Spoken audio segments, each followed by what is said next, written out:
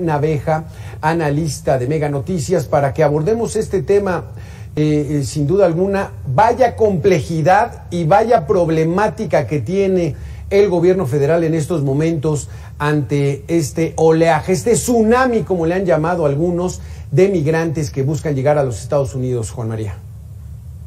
¿Qué tal, Beto? Un gusto saludarte, pues particularmente por la tradición que tiene México como un país que eh, en primer lugar es pacifista y en segundo lugar, pues hoy decía el presidente de la República, bienvenidos todos los extranjeros con todo y lo que ello implica. Está siendo un problema sumamente serio el que se está presentando en la frontera sur, pero también en la norte. Lo hemos venido señalando en las diferentes emisiones de Meganoticias, que no solamente es lo que se está viviendo y que está evidenciándose en este momento en la frontera sur, con eh, esta actitud, esta acción por parte de los elementos de la Guardia Nacional, sino también lo que está pasando en la frontera norte, en donde se está eh, registrando nuevamente una gran concentración de personas que quieren ingresar a los Estados Unidos. Y Beto, ya recorrieron toda la República Mexicana, ya salieron desde sus lugares de origen y ya se apostaron en las localidades. Algunos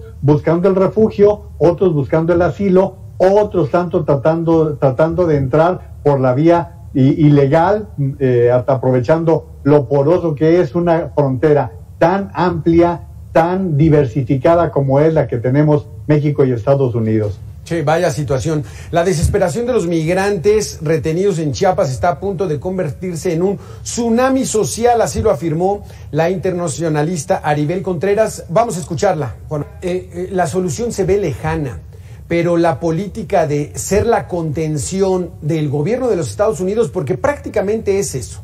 Desde la amenaza de Donald Trump de si no los detienes en la frontera sur, voy a empezar a, cobrarte aranceles por tus productos, entonces somos una contención. Esa es la solución. ¿Cuánto va a aguantar México siendo simplemente el contenedor de migrantes que quieren llegar a Estados Unidos? Pues lo estamos viendo ya, Beto, estamos viendo cómo en el caso de Tapachula ellos mismos han dicho que ya están rebasados, inclusive están superados en las autoridades para poder siquiera ofrecerles atención, vaya hasta para las necesidades básicas, ni siquiera para eso hay capacidad. Ahora bien, eh, eh, fíjate que eh, hay que poner atención a que esto se ha agravado en las últimas semanas y a, particularmente es a partir de que se habló de un nuevo encuentro entre el presidente eh, López Obrador y el presidente Joe Biden. Y que tenemos esta semana el encuentro de alto nivel que es diferente, está eh, juega en otros terrenos, pero no deja de ser parte de la problemática que están enfrentando los dos países. Y lo que tú estás comentando, tanto que se negó por parte de la autoridad mexicana que no seríamos un tercer país y que esa contención que tú estás comentando, pues es de facto una forma de fungir como un tercer país que mm, frena a quienes están tratando de emigrar hacia los Estados Unidos. Sí, durante mucho tiempo esta figura de las Naciones Unidas de ser el tercer país seguro, es decir, asilar o, permanecer todo lo que Estados Unidos no pueda eh, eh, eh, darle las facilidades para que ingresen a su país, pues bueno, México dijo, no, no es que no lo vamos a hacer, no lo vamos a permitir, pero en los hechos está haciendo el tema. En el tema migratorio hay una información que no se le acerca al presidente, las violaciones a los derechos humanos de los migrantes, como las que vimos en Tapachula, Chiapas. Tiene que ver con la estructura de las instituciones encargadas de migración, así lo dijo en entrevista para Mega Noticias Leticia Calderón, profesora e investigadora del Instituto Mora. Escuchemos, Juan María y la Comisión Nacional de Derechos Humanos. Creo que dos organismos que están haciendo mal las cosas, ¿no, Juan Manuel? Juan María.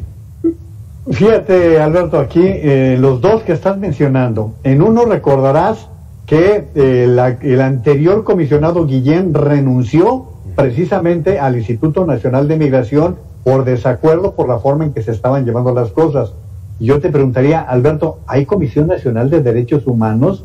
En verdad hay eh, alguna acción por parte de la presidenta de la Comisión Nacional de Derechos Humanos cuando estamos escuchando a diferentes organizaciones nacionales e internacionales hablando de este tema.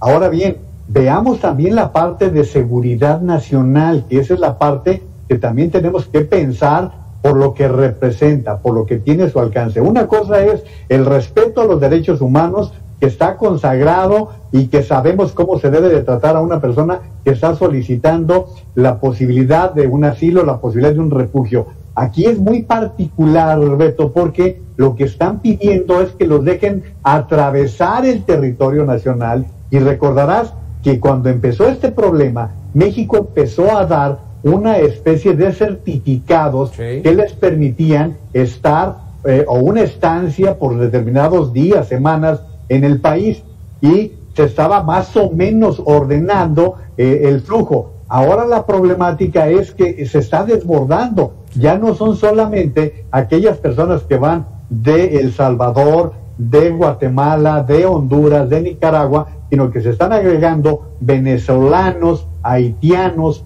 cubanos, o sea, ya es creciente. Y luego, eh, ¿dónde están los que están promoviendo todas estas caravanas?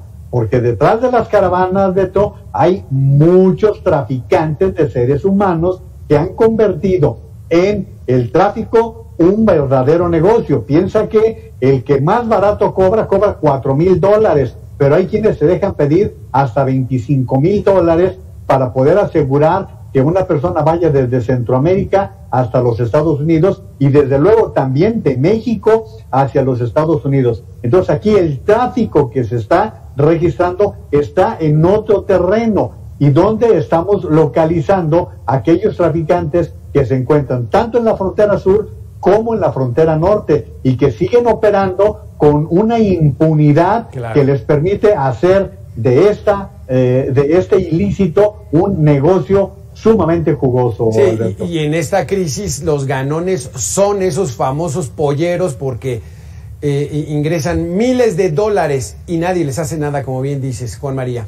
El problema migratorio en México ya es una crisis humanitaria que tiene años en la frontera sur eh, al que no se le ha dado una respuesta institucional para solucionarlo. Así lo señaló Rafael Alonso, investigador del Colegio de la Frontera Norte y presidente del Consejo Ciudadano del Instituto Nacional de Migración. En entrevista con Mega Noticias, te invito a que lo escuchemos. Este, Juan María, se les está retrasando con toda la intención, creo yo, y esta es mi opinión personal, su situación migratoria para que se cansen, se aburran y se regresen a su país. Pero cuando logran avanzar y los detienen y los regresan, no los devuelven a sus países. Están estacionados ahí en Tapachula en lo que es lo que han llamado una gran cárcel, una ciudad cárcel para todos estos migrantes. Sí, hasta hace tiempo recordarás tú, Beto, que los eh, aviones iban hasta el país de origen de las personas o los remitían a través de líneas aéreas comerciales a sus lugares de origen. Ahora no, ahora se les está llevando a la frontera sur de México y ahí los abandonan a su suerte. Ni siquiera les dan la posibilidad de llegar al lugar de donde salieron. Ahora bien, tenemos eh, otro tipo de problemáticas, eh, Alberto, que hay que tomarlas con mucho cuidado, que es el de los menores. Los menores que van o solos o acompañados. Beto, vemos niños de meses de nacidos que los llevan sus padres en brazos y que esto se convierte en un grave problema porque en muchas ocasiones lo que quieren es que crucen y simplemente los sueltan con la esperanza de que algún pariente, algún conocido los pueda rescatar. Luego viene la otra parte, eso que estábamos hablando tú y yo de los polleros, que muchas de las veces, además de que les eh, esquilban con el cobro del traslado, los secuestran, Beto. Además, los eh, llevan a casas de control en donde les están exigiendo que sus familiares depositen más dinero del que ya se habían comprometido y ahí vienen los secuestros y hasta los asesinatos. Tú sabes que hemos visto ya casos en los cuales, bueno, San Fernando, lo que ocurrió en Texas hace muy poco tiempo, en donde ha habido masacres muy lamentables. Híjole, qué, qué tragedia vive toda esta gente, ¿verdad? Es verdaderamente una tragedia la que están viviendo huyendo de sus países de origen porque no ven una posibilidad de un futuro cierto, un futuro próspero para su familia y se enfrentan a esta realidad apenas en el intento de llegar a los Estados Unidos y también cuando lleguen a Estados Unidos a ver cómo les va. La situación migratoria en México es compleja, el gobierno federal debe respetar los derechos humanos de los migrantes antes que atender el acuerdo de contención con Estados Unidos, dijo Bernardo Méndez, director de Fundación Pro Migrante América Sin Muros, en entrevista con Mega Noticias. Vamos a escucharlo, Juan María. Juan María, eh, eh, yo te pregunto, poniéndonos un poquito en los zapatos del gobierno de, federal de México, híjole, ¿qué se puede hacer cuando el vecino del norte pone las condiciones y tú quedas a merced de lo que ellos decidan? Pero es que mira, hay dos ámbitos, Beto. Una cosa es que tengas que establecer una eh, serie de condicionamientos, de actuaciones, y otra es que maltrates a la gente. Aquí lo que se está discutiendo es el exceso, son los abusos, la forma de controlarlos.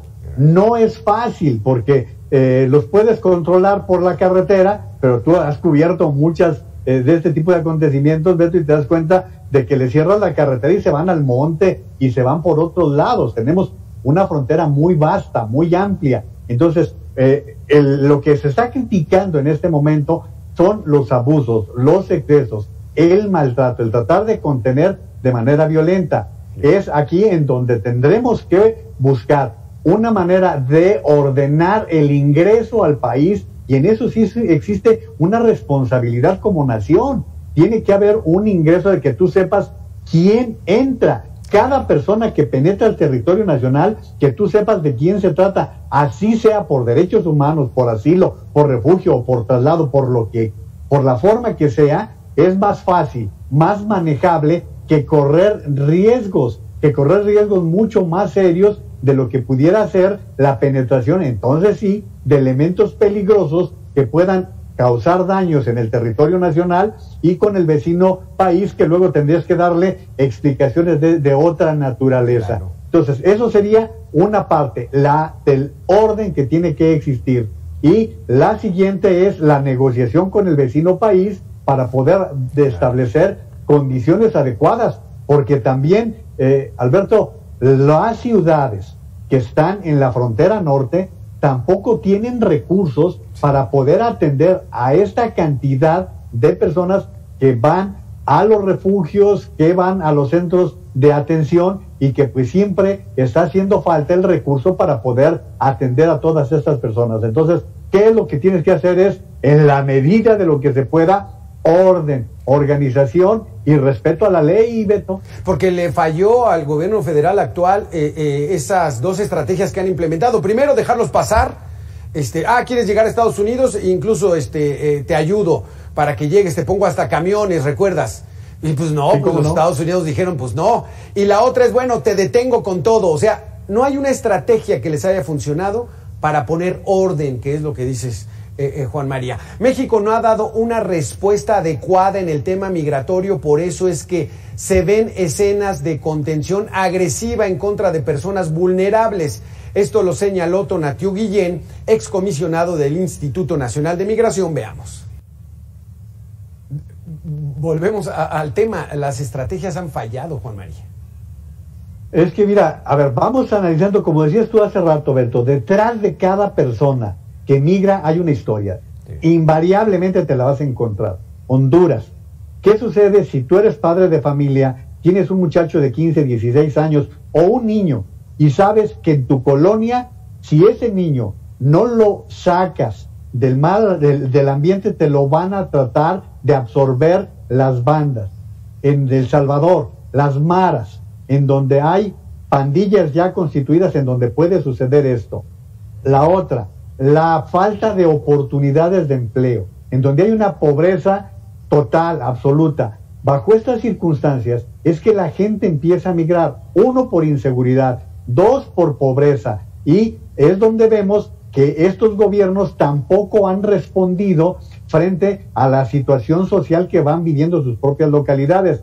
Yo te diría cuatro mil millones de dólares que está eh, considerando el gobierno de Estados Unidos de aportar para eh, apoyar el desarrollo económico del Triángulo del Norte, que son estos tres países, El Salvador, Guatemala, Guatemala y Honduras, más lo que propone el presidente de México de llevar los programas sociales, pues Beto, la gente no lo va a aceptar, no le va a parecer de ninguna manera interesante, porque tiene un paisano en California, en Texas, en Georgia, en Florida, que le platica que eso que va a ganar a la semana lo gana en una hora si logra llegar a estos destinos.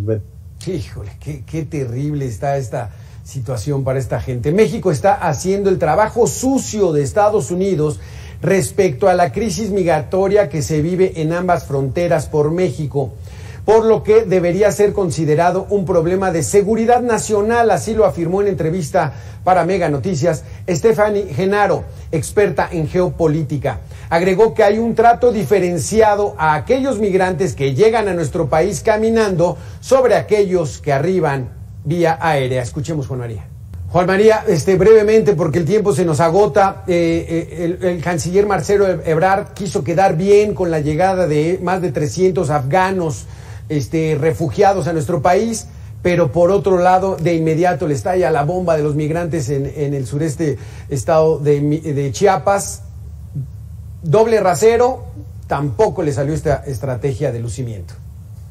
Particularmente por quien se, trataba, Beto. Estamos hablando de que estos afganos eran en muchos casos gente que Estados Unidos necesitaba proteger. Estás hablando de corresponsales, por ejemplo, de The New York Times, que fueron los más notorios, que fueron los que eh, le dieron mucho vuelo a todo esto. Son dos ámbitos completamente diferentes y pues no es lo mismo que recibas 300 personas que igual se iban a ir a Estados Unidos que quedarse aquí. Ahora, Beto, un detalle, eh, por lo que decía Stephanie hace un momento, cuando uno llega al Aeropuerto Internacional de la Ciudad de México, si vienes en vuelos de Centroamérica, inclusive de Panamá, por ejemplo, o de Sudamérica, te llevan por otra puerta, ¿eh? No te dan el mismo trato que si vas de Estados Unidos o de Europa, es un trato completamente diferente. No llega a los excesos que estamos viendo en la frontera sur, pero yo te puedo decir, que cuando llegas, por ejemplo, de Panamá, tienes que esperar un par de horas a que revisen maleta por maleta los eh, elementos que custodian el aeropuerto capitalino. Así que, pues también hay algo de discriminación en el aeropuerto de la Ciudad de México, Beto. Juan María Naveja, muchísimas gracias. Como siempre, muy interesantes estos conceptos. Será un placer siempre estar en comunicación, Beto. Un abrazo. Gracias. Vamos a hacer una pequeña pausa y regresamos.